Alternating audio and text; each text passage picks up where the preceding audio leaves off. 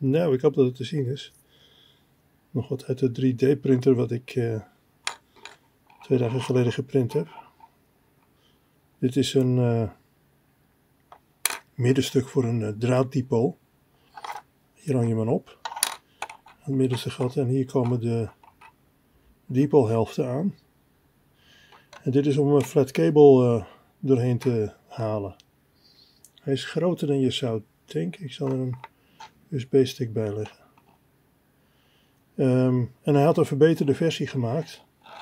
Die heb ik ook geprint. Dat is deze, die bestaat, die is een stuk groter, hè? die bestaat uit uh, drie onderdelen. Uh, een klem, ik, ik, weet niet precies hoe dat nou moet.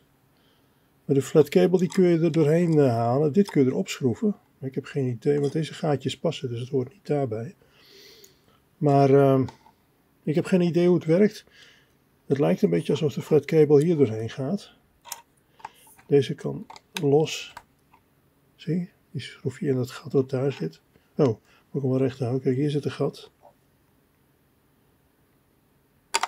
Dan schroef je dus deze erop. Ik moet hem ook nog afwerken. Je ziet dat de bramen er ook nog aan hangen. Maar ik heb hier niet direct een toepassing voor. Hij is niet helemaal scherp met, het, uh, met deze camera. Maar goed, ik heb geen zin om de andere te pakken. Dat is meer werk. Ik moet even snel uh, online zetten. Maar dat is ook niet gek. En ze, de maker schrijft dat ze het meerdere keren bij een velddag gebruikt hebben. Oh, dan valt er dus een onderdeel. Maar dat ze het meerdere keren bij een velddag gebruikt hebben en dat dat uh, altijd goed gaat. Dus ja, ik ben benieuwd. Dan ben ik één onderdeel kwijt en ik zie het ook niet liggen op de grond. Dus ik ga eens even zoeken